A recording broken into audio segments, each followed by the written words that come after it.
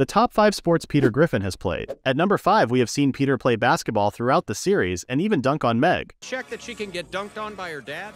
Dunked on by my dad. At number 4, he has played baseball on a few occasions and even played professionally, but his body gave out while doing so. In season 4, episode 2, after getting scouted for his tackling skills, he played football for the Patriots. At number 2, we have seen him play golf with Lois and become frustrated while doing so. And at number 1, he used to do karate and even competed in a tournament with his socks on. Point!